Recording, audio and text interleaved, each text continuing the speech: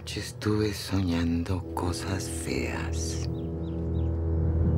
Sombras, voces, rumores, murmullos que brotan sabrá Dios de dónde. Y yo sin poder dormir. Pasaba de un recuerdo a otro, como si la memoria fuera una ruleta.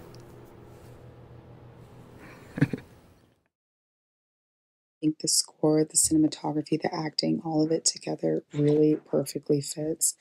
Um, the overall thing that I love the most about this was the motif with the train from the beginning even to the end.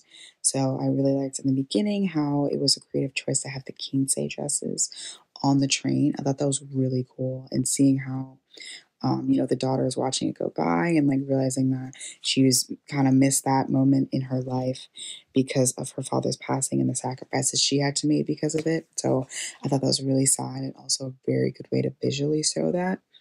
Um, and then at the end, where the train is used as a way for her brother to find freedom in his sexuality, I think that was beautiful as well. So seeing how there was like a give and a take with the same motif was really cool. Um, in general sense, I think the actors did a great job. They had really great chemistry. I believe they were a family. I believe they were a troubled family. It was a very character focused, character driven film, but in this sort of almost surreal world with uh, some magical realism in there. Um, I love that all the characters had their own secrets and everything seemed to be building to this eclipse when everything was going to come to light, it seemed. Um, so there was definitely suspense there and waiting for that eclipse and everybody's secrets seemingly getting bigger and bigger. Um, uh, literally bigger in the case of um, the sister in law and her hidden pregnancy.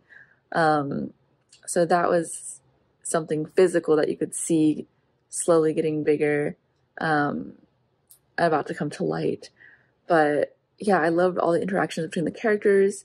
Um, the acting was really great. The score was awesome.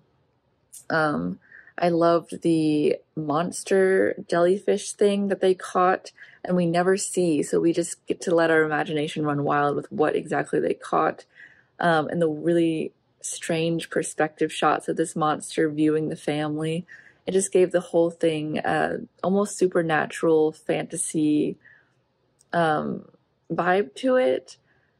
Uh, and with the eclipse and sort of the mythology behind that, uh, the moon and the sun fighting each other, much like the family itself has conflict within its, each other. I really liked the music, and I think it added a lot to the emotion and overall vibe of the film, and it made it feel very cohesive. And I also really liked um, the kind of parallel scenes that they had, where they would show a current event interlocked with a past feeling or memory.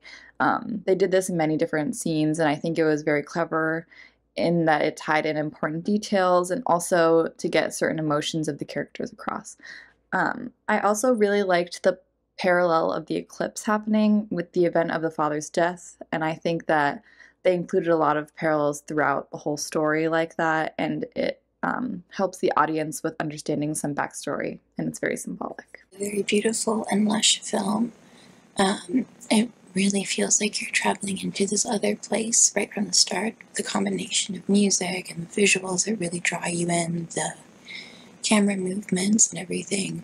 Um, it's a really great way to establish the world that the characters are in and the story unfolds. And I think the choice too to have subtitles in the language, it really makes it feel like you're flying into another location to uh, watch this story unfold, which is really nice.